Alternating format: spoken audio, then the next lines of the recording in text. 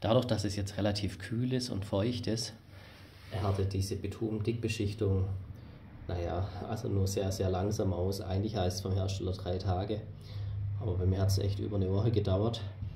Ähm, und wie ihr sehen könnt, steht da auch drauf, Dickbeschichtung 1-2K, also meise im Sommer habe ich es immer einkomponentig verwendet. Mm, jetzt würde ich es zweikomponentig verwenden. Da gibt es von Weber gibt's da so eine ähm, Pulverkomponente. Da steht wenig Informatives drauf. Hier gibt es die Warnung, weil es eben äh, Zement wohl enthält. Äh, was genau die Pulverkomponente ist, wird leider nicht verraten. Also ein Eimer wird mit 2 äh, Kilo von dieser Pulverkomponente vermischt. Hier seht ihr es. Da steht auch drauf, ähm, WT, wahrscheinlich Weber Tech 9115, 2 Kilo. Mehr steht nicht drauf. Und man soll ein Rührpaddel Größe 4 verwenden. Gibt es auch von Weber für 40 Euro, das war mir jetzt aber zu teuer. Stattdessen habe ich mir hier aus einer Baustahlmatte habe ich mir das gebogen. Also bei dem Original Rührpaddel sind unten 15 cm oder 150 mm Abstand von diesen beiden Ärmchen. Das habe ich jetzt auch ungefähr gemacht. Und diesen 6er Baustahl kann ich eben guten Akkuschrauber einspannen. Und jetzt mal Jetzt mal schauen, ob der äh, Akkuschrauber das schafft, das Ganze durchzurühren. Ich denke, das wird irgendwie gehen. Wie gesagt, 40 Euro ist das ja auf keinen Fall wert. Jetzt vermische ich das beides mal und dann werde ich mich etwas beeilen, wenn man dann eine Verarbeitungszeit hat von etwa anderthalb Stunden. Aber die Hoffnung ist eben, dass es dann schon nach vier Stunden wasserbeständig ist und dann auch hoffentlich schneller aushärtet.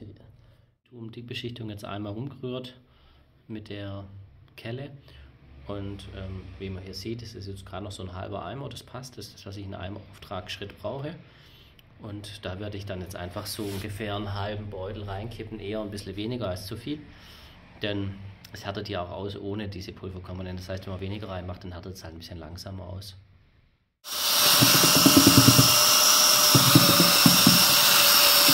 Also mein Pulver funktioniert ganz gut.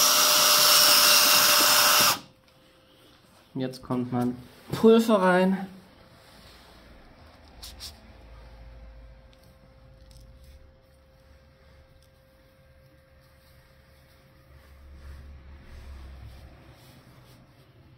Jetzt verrühre ich das wieder.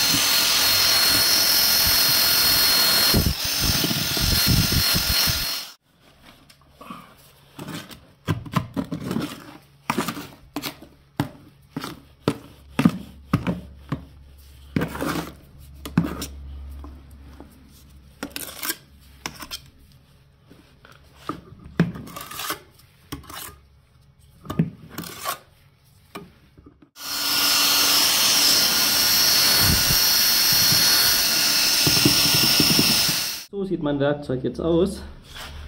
Man muss wirklich sagen, es hat super funktioniert.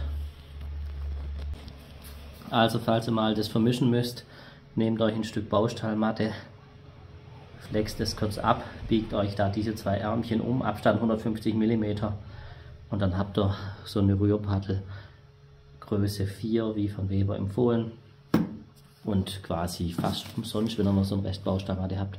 Bei dem Werkzeug ist immer wichtig, dass man das jetzt sofort mit Wasser abwäscht. Sonst kriegt man das Bitumenzeug nicht mehr weg.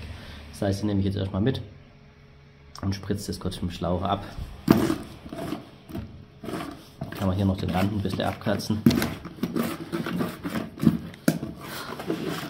Aber ansonsten seht ihr, ich habe jetzt eine schöne homogene Masse und die werde ich jetzt schnell aufspachteln.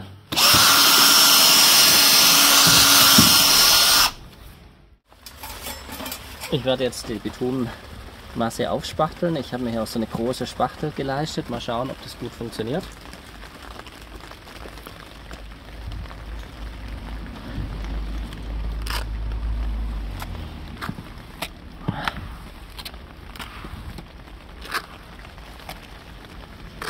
Ja, das geht natürlich schnell so. Jetzt spachtle ich die ganze Wand. Wenn es trocken ist, kommt dann eine zweite Schicht drüber.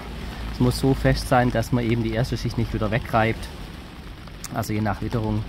Vielleicht geht es ja schon in äh, zwei, drei Stunden, ansonsten einfach morgen.